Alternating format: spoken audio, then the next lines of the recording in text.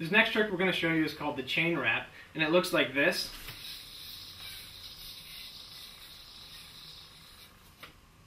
When you're learning this trick, you can practice it with either the yo-yo dead, or you may find it easier if the yo-yo is actually spinning.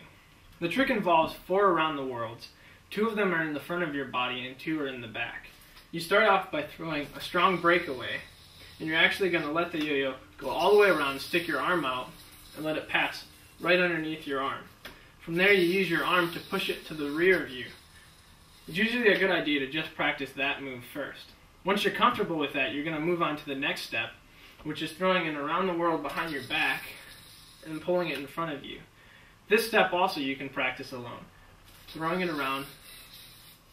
And the key to this trick is that as the yo-yo comes around, you want to actually bend your arm in as if you're putting your hand on your hip so that you can pull the yo-yo back in front of you.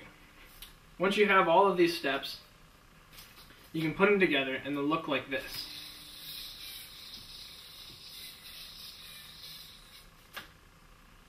and that's the chain wrap.